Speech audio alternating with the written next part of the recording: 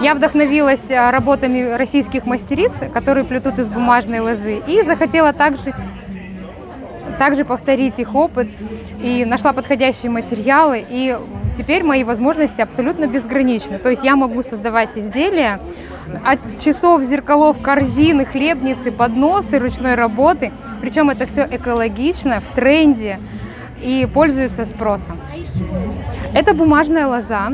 Я ее изготавливаю из чистой газетной бумаги плотностью 42 грамма на квадратный метр. Она тоньше, чем офисная бумага в два раза. Накручиваю ее на спицу, и получается вот такая лоза.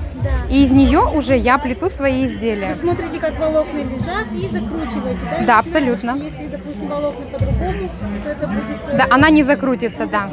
Да. И процесс у вас на странице Инстаграм указан, да, как это Да, делается? да. Интересно. Все мои изделия можно посмотреть у меня на странице в Инстаграм.